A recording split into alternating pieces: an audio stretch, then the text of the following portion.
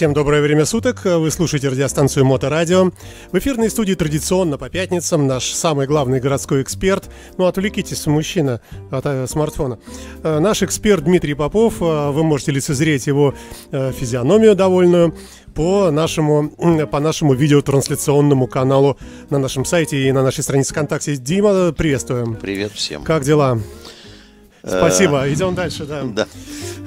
Ну, что-нибудь э, что случилось на это за время нашего Слушай, последнего? ни- никогда в этой стране порядка не будет никогда. Вот страна вечно зеленых помидоров. Все время вспоминаются какие-то цитаты из фильмов с Абдулом, который смотрит в бинокль и говорит: "Страна непуганных идиотов". Почему? Да, ложечки украл и не побрезговал. Почему? Откуда? Что такое? Значит, помимо заявленных тем, касающихся борьбы с пьянством в ГИБДД и... э, Где, где, где? В ГИБДД или ГИБДД борется? ГИБДД решила бороться с пьянством на дорогах. Среди своих? А я думал, среди своих. Нет, ты знаешь, я тебе хочу сказать, э, когда я эту новость прочитал, то я первым делом скинул руки к небу и сказал, как опять? Между прочим, у нас объявлено официально, у нас идут ролики социальной рекламы о том, что в эти выходные дни ГИБДД Петербурга проводит рейд как раз на предмет ловли пьяных водителей. Провело бы ГИБДД Санкт-Петербурга рейд на предмет наличия мозгов. Им бы цены не было. Вот, особенно если бы они, так сказать, нашли мозги. Значит, э, вторая тема из темы, которая все ли готова к началу приема экзаменов, резко выраж- вырождается в тему страсти по автодрому, потому что сегодняшний, вчерашний день, я должен сказать, это, это просто какой-то экзаменационный трэш. Ну, а хотелось бы начать с истории не то чтобы веселой, а грустной. Почему я говорю, что страна вечно зеленых помидоров? Вот у нас существует по Конституции три ветви власти. Это исполнительная власть, э, президент и правительство, судебная власть, Вер- Верховный суд и Конституционный суд, и законодательная власть. э, это Федеральное собрание, Совет Федерации и Государственная Дума. Я все время для себя думал, что люди, которые сидят в Федеральном собрании, и в Совете Федерации, и в Государственной Думе должны обладать каким-то минимальным набором юридических знаний, ну, микроскопическим набором, так сказать, который рождается на основе жизненного опыта и еще э, каких-то вещей. Или если нету э, у них юридического образования, то они должны окружить себя бандой умных юристов, правильно? Людей, которые знают Ну, юридическое как минимум, да, конечно. ну, вот сидишь ты такой умный сенатор в Совете Федерации. Фамилию называть не буду. Во-первых, не уверен, что правильно ее назову. А Во-вторых, во-вторых, неприятно э, во- называть. Во-вторых, фамилию называть неприятно, потому что вчера, когда давал одному уважаемому телеканалу интервью, э, то сказал, что, говорю, ну как так? Ну, сена- понимаешь, если бы бабка Дуся вот во дворе допустила бы такую юридическую оплошность, я бы сказал, бабуль, ну ты не в материале. Но когда сенатор, э, так сказать, развивает по федеральному собранию такую пургу, то я начинаю волноваться, все ли у него хорошо, так сказать, не, не, не пострадали ли какие-то отделы мозга от коронавируса.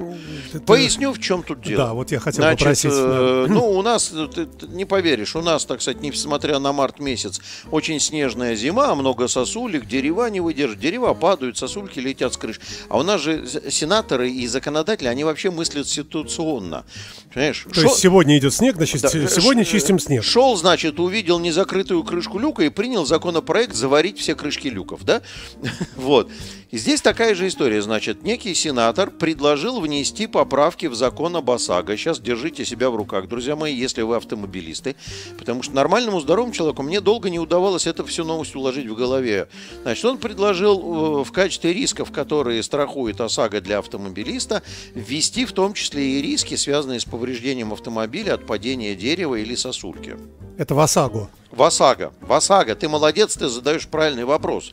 Потому что в КАСКО, в коммерческом страховании, Там это есть, да? в каких-то есть, в каких-то Ну, нет. да, Там да, да. коммерческое страхование. ОСАГО. Я, значит, сижу на попе ровно, включаю мозги и читаю аббревиатуру расшифровываю. Обязательное страхование автогражданской ответственности. То есть ответственность, которая возникает в отношении меня в случае, когда я допустил нарушение правил дорожного движения, которое повлекло причинение материального ущерба третьему лицу. Я правильно понимаю, господин сенатор, что вы, так сказать, решили, что сосульки и дерева перед тем, как упасть, должны проверить наличие у них по карманам. Поле страхования есть. Понеслась. Сейчас он в крышу вон того вот автомобиля. И когда сосулька прилетела в крышу автомобиля, то, значит... То страх... страховая компания сосульки? Страховая компания сосульки идет и выплачивает автомобиль за то, что их сосулька криво ехала. Слушай, в этом, месте, идея, в этом месте я привык делать паузы и говорить в последнее время занавес, потому что ни, ничего более тупого просто невозможно было предложить. При этом, при этом, при этом, смотри, история-то как выстроена, понимаешь? Беззащитные автовладельцы не знают, как им поступать в этой ситуации обычный гражданский иск, который предв... Э, вменяется, значит, управляющей компанией тому, кто ответственен за дерево, за сосульку, садово-парковому хозяйству, то есть тому, кто это дело обслуживает. И если, кстати, должен тебе заметить, если, допустим, э, управляющая компания сталкивается с тем, что сосульки с их дерева совершают массовый падеж на автомобиле, или, допустим, они несут серьезные убытки от такого безобразного поведения сосулек, то они должны просто пойти в страховую компанию и сказать, мы хотим застраховать нашу гражданскую ответственность в отношении третьих лиц при выполнении наших э, уставных э, так скажем, функций, уставных обязанностей. Для этого не требуется никакой ОСАГО, еще что-то такое и так далее, и так далее, и так далее ты и я, мы можем с тобой застраховать нашу гражданскую ответственность, знаешь, в отношении чего? Например, ты плохо следил за своими трубами или боишься, что ты не закроешь кран с водой на, на кухне, и вода протечет, затопит соседа снизу. Я боюсь, и, да, например. И ты да. можешь эту гражданскую ответственность застраховать. Существуют такие страховые продукты, которые это страхуют. Это не ОСАГО, это не автогражданская ответственность. Она не возникает в результате управления сосулькой.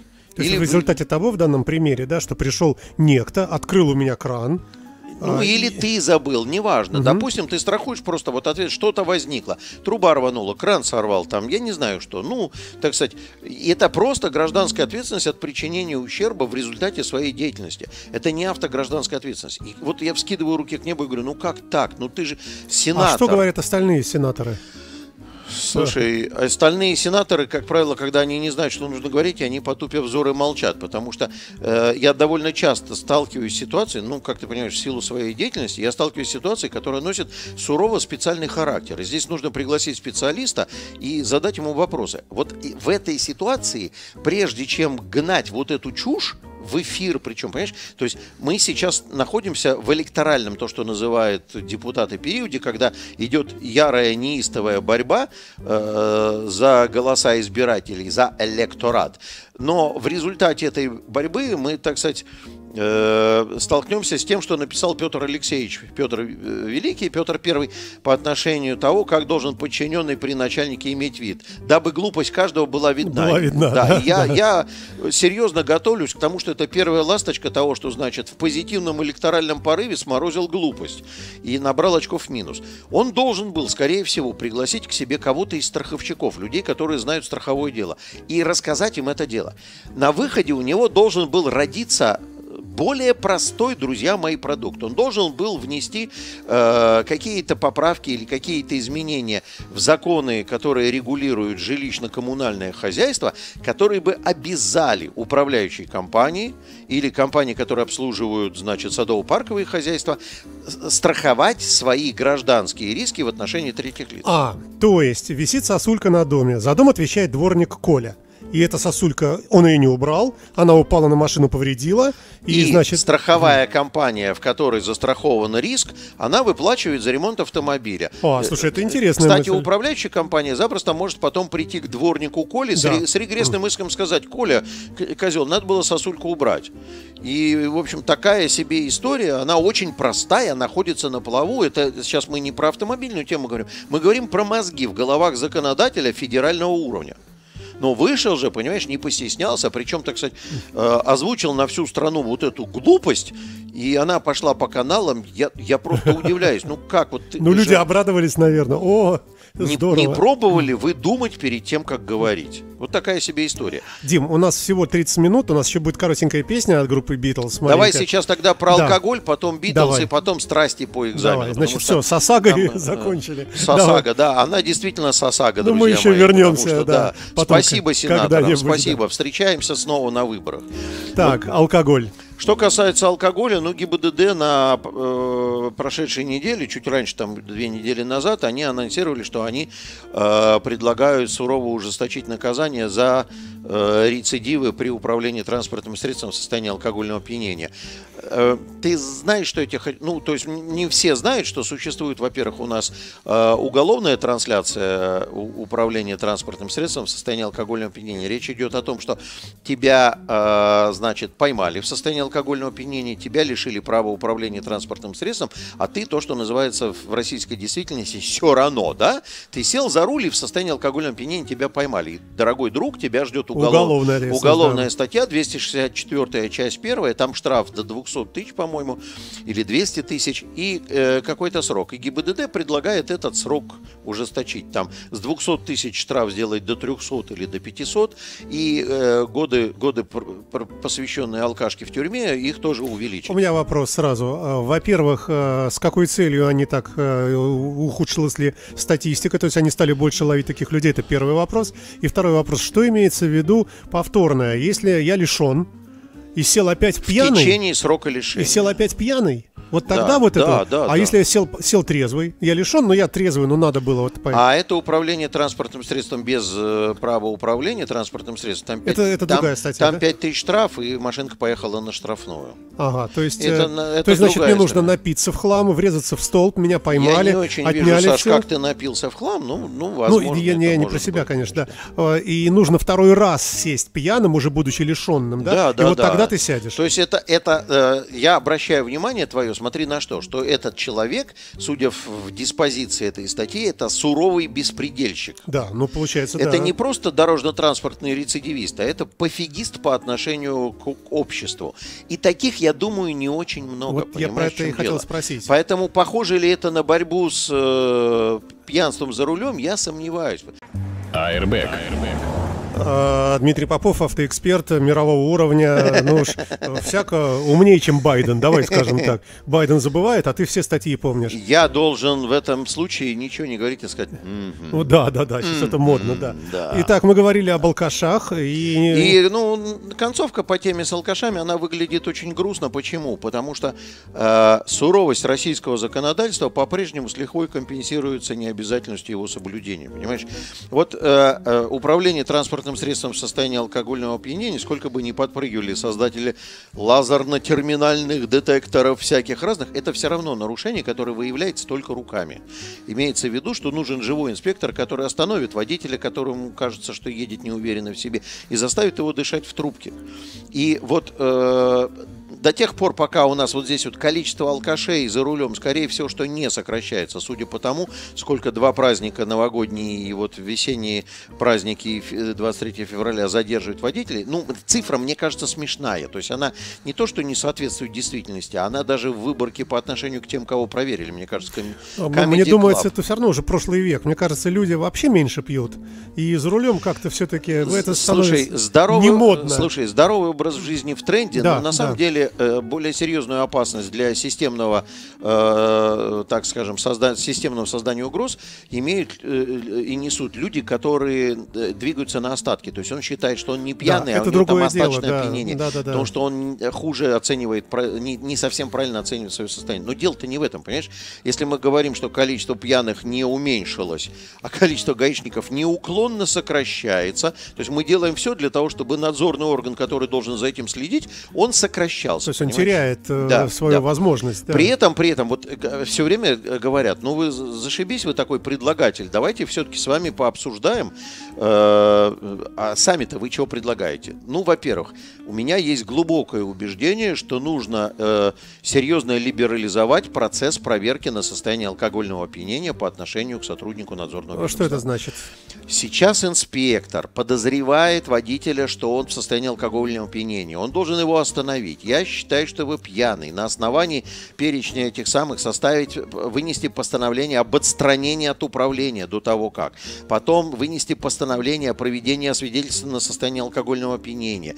Потом э, он, допустим, отказывается составить протокол. Или он поехал на свидетельство, не еще что-то. Бабка за детку, детка за репку. Это такой геморрой, который мало того, что трудно организовать, всегда очень просто опротестовать. А вот вы меня не отстранили от управления. Какого черта? А вот вы что не сделали. Надо сделать так, чтобы эта процедура в нормативно-правовом поле была сильно попроще, но при этом сохранялся, э, сохранялась презумпция невиновности. Так так же было. Помнишь, достается этот алкотестер, милицейский подышал в трубочку, все, свободен, упаковали. Ты понимаешь, Прямо на дело? месте Э, поняли. Я, я тебе поясню, какую историю. Я считаю, что нужно ввести понятие первичная проверка. Вот не составлять никаких протоколов и так далее, а вот первичная проверка прибором менее строгого качества инспектор проверяет. У него нет оснований для того, чтобы бодрить человека на лживые показания приборов. Все, кто говорят, а вот они подставляют, там ватки со спиртом и так далее. Друзья мои, если мы все по разу дыхнем в этот прибор, мы неожиданно увидим, что инспектору ничего придумывать не надо и подстав делать не надо. Ну, такое количество народу, кто надышит больше, чем 0,16 миллиграмм на литр в выдыхаемом воздухе, что это просто бегать не за То есть ты имеешь в виду, что мы остановили 100 машин подряд, и, Я- и я думаю, из них что- много кто надышит, хотя Вот, они все трезвые. Э, ну, машин 10 надышит. Серьезно? Да, да, я думаю, что Так надышит. получается порог срабатывания какой-то, или надо Не про- порог- промилле нет, разрешать Нет, опять? не по- так они разрешены, Ну. но это, это э, еще раз говорю, не разрешены, чтобы вы не делали неправильных выводов. А речь идет об уровне, который установлен э, Конвенцией о дорожном движении, что страна, участник конвенции, должна иметь уровень не нулевого значения, который бы позволял идентифицировать То есть состояние. пить вообще нельзя. Но если у вас Но. э, какие-то там пары надышались, если они меньше вот этого, Меньше то, 0,030, то ты считаешься типа трезвый, да? Меньше 0,32 промилле или, что более популярно сейчас, приборы разградуированы в миллиграммах на литр. 0,16 миллиграмм на литр. Вот. Если меньше, то ты считаешься трезвым. Если столько и больше, то ты считаешься пьяным. И надо ввести понятие первичная проверка, которая не предполагает ни протокол, ни какие-то действия, и э, создать э, регламент, когда я останавливаю, прошу, дыхните в этот прибор, да, там одноразовый штук что-то, но дыхните. Это прибор э, грубого показания, я проверил, вы трезвы, езжайте. Это упростит, убыстрит Слушай, а, проверку, ну мы увеличит же- объемы проверки. Мы же живем в такой технологический век. Э, У нас э, меряют э, уровень...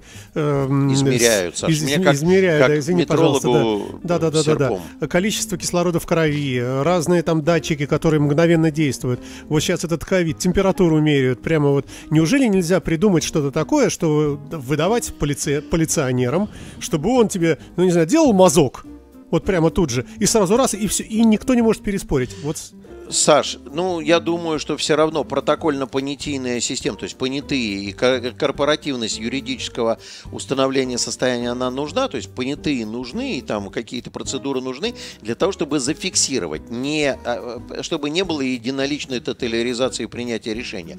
Но первичную процедуру надо упростить, первичную, чтобы можно было быстро валом много людей проверять. Стоит 3, 4, 5 инспекторов на Пулковском шоссе, и они, как только освободился, следующего выхватывают. То есть 10% в потоке стоят и утром с 7 до 9 проверяют. Первичной проверкой. Если он что-то загудел у него, запищал, он говорит, «Э, предлагаю вам пройти э, проверку на состояние алкогольного опьянения от наркологической лаборатории. я не вижу разницы с тем, что сейчас, и с, с твоей первичной а, проверкой. с, тем, что- с тем, что сейчас разница, во-первых, гаишников мало, просто их А, ну мало. так это другое их дело, просто да. мало, их должно быть больше. Так мы говорим о понимаешь? процедуре или о том, что... И о процедуре, и процедура сложна, бумаг надо, понимаешь? Вот сейчас меня инспектор остановит, он не может мне сказать, предлагаю провести проверку. Он должен сначала составить мешок бумаг. Вот. Ну, и вот это либ- неправильно, либерализация этой процедуры, введение первичной проверки и одновременно с этим увеличение штата сотрудников, заточенных под борьбу с такого рода нарушениями, выведет эту ситуацию почти в ноль. Почти в ноль. А тогда уже можно говорить об ужесточении законодательства. Потому что у меня есть вторая часть моей инициативы. Давайте все-таки составим градационную шкалу. Вот, вот при таких уровнях столько. Во многих странах мира вот такие э, уровни это такое наказание, а больше какого-то уровня, то есть когда видно, что ты не на остатке, а ты по нахалке, то мы тебя в тюрьму сажаем. То есть наступает уголовка сразу. Не после того, как ты там в ДТП попадешь или мы тебя поймаем повторно, а сразу уголовка. И об этом только обязательно сообщить всему населению. Да, да, да, да, да. Всему населению сообщить, но разградуировать. То есть есть какой-то минимальный, который находится в административке. Напомню, что сейчас у нас состояние алкогольного опьянения все в административке. Вот это будет тот, кто больше нормы, он в ужесточение попал, а тот, кто находится в диапазоне, он попал в административку. Ну, я не знаю, мне кажется, что ГИБДД сейчас у них кризис жанра, в основном касающийся инициатив, идей, предложений, генерации чего-то нового. Они очень похоже на ситуацию, когда ложная беременность, честно. Вот э, раздувается Ой, правами. да, закончили с алкоголем. Давай. Airbag. Безопасность на дорогах, подготовка водителей, правовые акты и нормы. А, Продолжаем. Ты говорил много новостей. Есть какие-то позитивные? э, Разрешили ездить без прав, э, Шкаф с собрал 10 я. лет Шкаф в возраста. прихожей собрал. Вот единственная позитивная новость. Сегодня утро началось с того, что у меня такое впечатление, что я временами, когда даю интервью, я то ли не в микрофон говорю, или я тихо сказал э, что-то там, я не, не понимаю. Значит, утро началось с э, тотального наезда средств массовой информации на меня. Дайте комментарий по поводу нового порядка приема экзаменов. Б- Беседуя с одной из корреспонденток, я ей объясняю там всю историю с автодромами и так далее. Она говорит, какие автодромы, они же отменяются. Опять? Я говорю, как так? Как так? Вот, вот я сижу перед тобой, такой весь хороший э, эксперт в рабочей группе при правительстве Российской Федерации, который написал два, заключ... два заключения. Одно отрицательное, а второе не то чтобы положительное, а такое, знаешь, это я написал ну, пусть будет. Раз у них кризис жанра, они не могут родить новое. А самое главное, я в последнее время я утратил э, понимание, а зачем нам нужен такой регламент? То есть вот сейчас у меня резко вдруг возник вопрос, на кой нам нужен этот регламент, если мы шаг за шагом, изменяя все, что в нем было глупого, вернулись почти к прошлой процедуре экзамена. Значит, и дальше я сегодняшний день должен назвать не вопросом рассмотрения того, как будет процедура экзамена, а я, к сожалению, должен сказать, что сегодняшний день у меня называется «Страсти по регламенту». Страсти прямо страсти, реально, реально просто Погоди, грандиозные. ты говоришь о регламенте сдачи на, по, по на водительское. процедуре выдачи водительского удостоверения, включая, соответственно, Так она, по-моему, за, за столько лет, она достигла идеала, там нечего уже как бы Э, делать. Она не достигла идеала, нет предела беспреде- э, совершенству. Вот, но э, должен тебе сказать, что она настолько далеко находится от идеала, настолько далеко, что вот Ну давай просто порассуждаем. У нас э, две вещи должно, должны быть и должны быть на хорошем уровне, чтобы получить права. Нужно знать и нужно иметь практическое какое-то, да? да, да, да. Вот, значит, у нас есть практика и знания. В части, касающейся знать, э, значит, в течение прошедшей недели я проводил аналитику по экзаменационным билетам. И, коллеги из ГИБДД, не дрожите, я пока не буду публиковать ваши ляпы, хотя я знаю теперь, что А у тебя после есть того- коллекция? Э, Слушай, это не коллекция, это катастрофа. Это катастрофа. Я готовлюсь принять участие в этой работе, но количество ошибок и ляпов в экзаменационных билетах огромное. У меня на блокнотике в перечислении там несколько десятков вопросов. Напомню, что их всего 800. Вот. Ну, пока не, пока а, не а скажи, публикую- пожалуйста, неправильные вопросы, а- они вообще вносят сумятицу в мозг человека? И- Конечно, и конечно. Насколько опасно ты привык, выучил, вот как вот, ну, как бы А. думаешь, что правильно, а на самом деле Ты понимаешь, и потом чем- переучиваться. Ты понимаешь, в чем дело? Экзаменационный процесс является составляющей, в том числе и в качестве контрольно-проверочного материала, является составляющей знания, потому что мы учимся на то, э, что будем потом делать. И когда мне ученица спрашивает, а вот по правилам вот так, а в билете правильный ответ такой, я говорю, ну ты что от меня хочешь, пиши там. А такое и есть, да? Э, немерено. Это называется нарушение норм То есть ты хочешь сказать, права. что человека за- зарезали, зарубили, Да, а ему, она маш- потом ему выясняет- машина ставит, что он не сдал, можно пойти обжаловать. Я про 30-й билет, шестой вопрос, если кто сомневается. Но я таких ляпов нашел там приблизительно полтора десятка. Давай все-таки про автодром. Да-да-да-да-да. Давай один раз все-таки, раз уж у нас осталось полторы минуты. Значит, друзья мои, все, кто говорят, э, что автодромы отменяются, это ложь. Это ложь. 94-я страница административного регламента, их 111. 94-я страница административного регламента, приложение 8, пункт 1, последний абзац, предпоследний абзац. Там сказано все. У меня на стене в ВК висит эта фотография этой страницы, там красненьким обведено. Абзац начинается со слов «на автодромах, автоматизированных автодромах, закрытых площадках». Мы 157 тысяч раз про это сказали, никто все равно не слышит.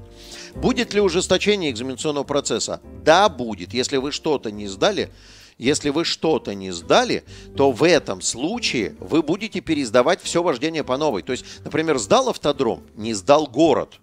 Значит, в следующий раз даешь опять. Ну как, я же уже сдал автодром. Да. Ну вот, теперь это все единая процедура, но площадка остается, фигурное вождение остается. Мы долго искали тех счастливых обладателей Бентли и Мазерати, которые согласились бы предоставить свои автомобили для отработки парковки задним ходом в гараж.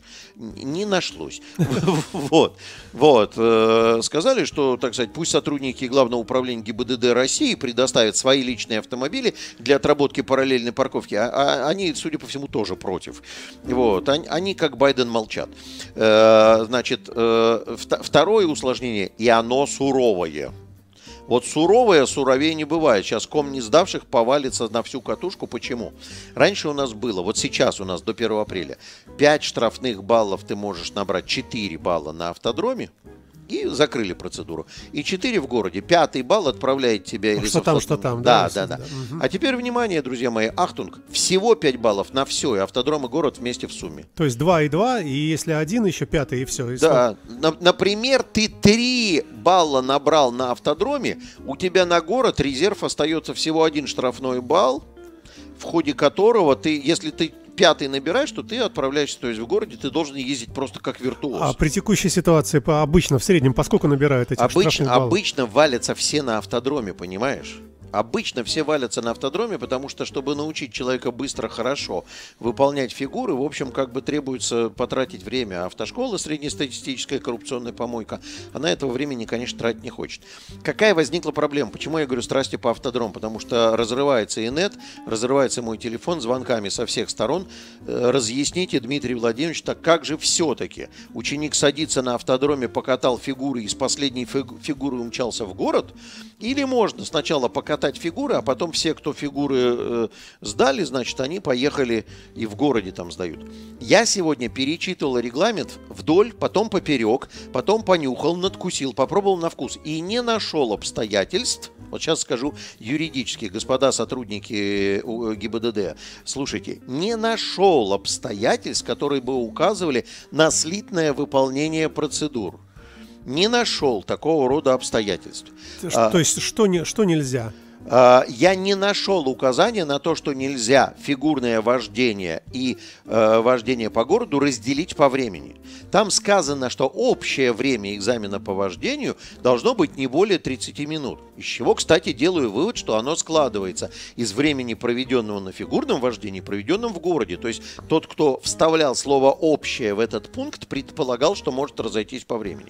Чем... То есть 15 минут э, отъездил на автодроме. 3 минуты, потом... 3 минуты, 3 минуты, Саш, на автодроме, а, 3-5, угу. как правило, и 20-25 минут в городе. А можно 3 минуты там, потом пошел поел, да, посидел, да, да, покурил. да, да, Видишь, ага. в чем дело? Я задавал вопросы некоторым городам России, и мне сказали, что они готовятся проводить раздельно, потому что технологически невозможно. И у нас в нашем городе то же самое. Технологически проводить этот процесс совместно невозможно. Напомню, что у нас два автодрома на шоссе революции, 15 маршрутов сдачи по городу. Все быстро, коротенькое время, приблизительно соотношение 5 и 25. Коротенькое время все группы прокатали автодром и уехали по маршрутам. Все получилось. Если только ГИБДД в Москве скажет, что это должно быть слитно, пропускная способность нашего автодрома, нашего ГИБДД по части экзаменов снизится в 7 раз. Как я это посчитал? Очень просто. Я 15 разделил на 2. Вместо 15 э, возможностей принять осталось 2. Осталось две, в семь раз. Соответственно, чем грозит эта глупость? Она грозит тем, что очереди на экзамены вырастут, ожидание экзамена вырастет, тотальное всенародное недовольство, потому что программу давно выполнили, навык теряем и экзамен не сдаем. Дмитрий Попов э, на Моторадио в рамках программы э, Airbag. Большое спасибо, Дима, и до новых встреч. Всем хороших выходных. Да, пока. Счастливо, пока.